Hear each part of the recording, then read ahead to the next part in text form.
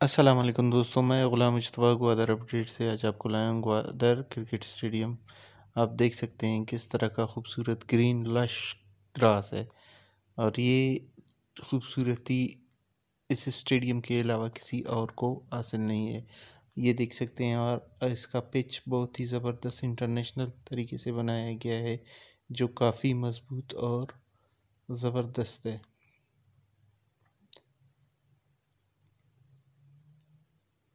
ये बहुत ही इंटरनेशनल तरीके से और इंटरनेशनल स्टैंडर्ड को मद्देनज़र रखते हुए ये बनाया गया है।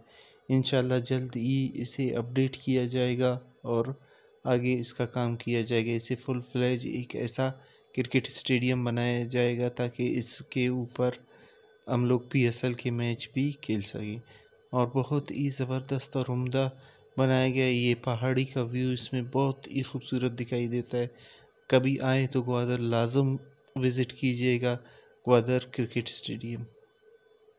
Thank you